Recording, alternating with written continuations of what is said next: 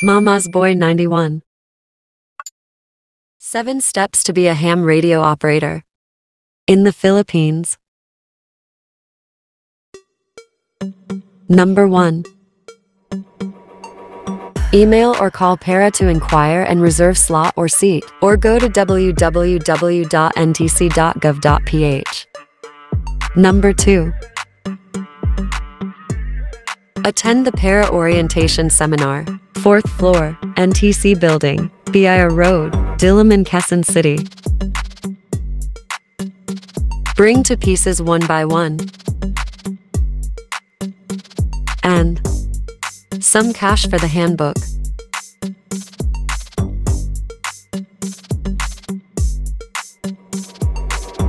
Number 3.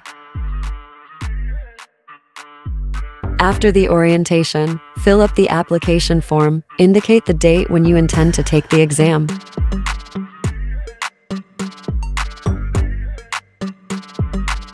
Number 4.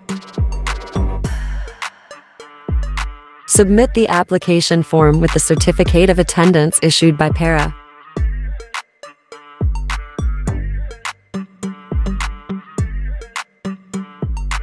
Number 5.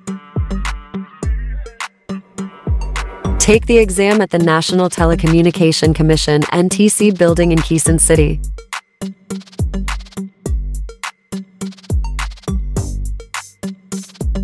Number 6. Wait for the exam results in the afternoon. Same day at NTC or the following days through online.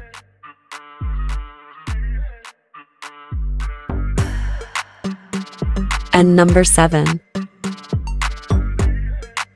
If you pass, congratulations.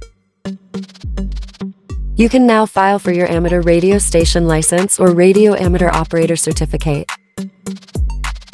That's it. Thank you for watching.